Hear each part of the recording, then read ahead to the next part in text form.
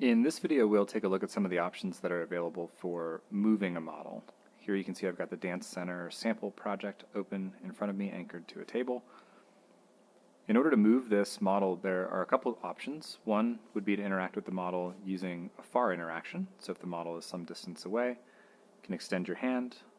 A ray will extend from your hand to the model.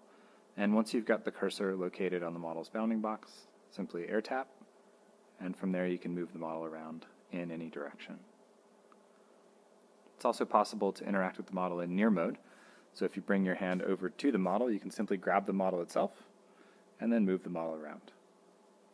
You can see we've got some nice options here for moving the model and snapping to the model's axes. So here I've got the model snapped to its green axis, or y-axis, here I can snap to the model's blue axis to move it straight up or down. And I've also got the option to move the model along its red or x-axis. When you're finished moving the model, just let go to set it down.